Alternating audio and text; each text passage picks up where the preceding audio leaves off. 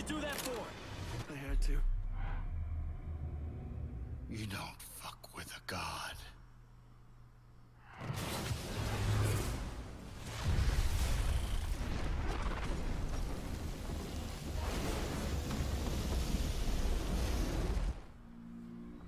Get her out of here. Go!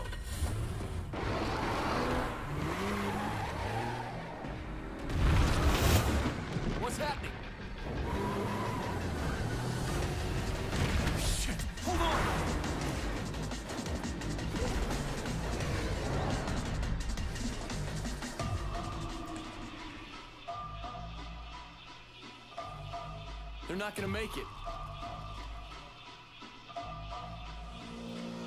Hello everyone and welcome back to DMC Devil May Cry. I am Titan and we are going to need to have a conversation with Vergil at some point regarding everything which he has done in the last couple of episodes. I mean, for one, he is the reason that Kat is in this position, and two, he very nearly fucked up the entire purpose of the trade.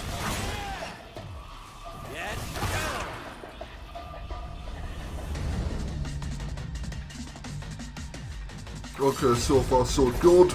Vergil and Kat are in the clear.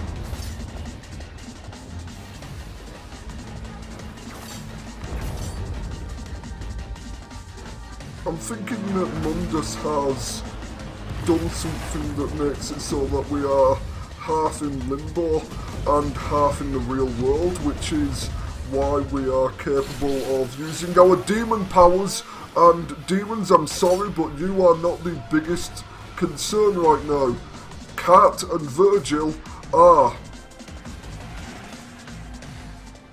And something is telling me that we are going to be having a fight with Vergil at some point, and I have no issue with that.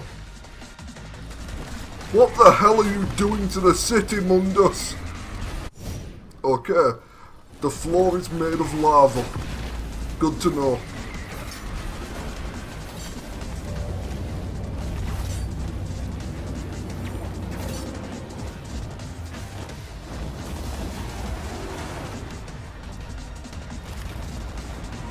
Vergil, if you let her live, we wouldn't be in this situation.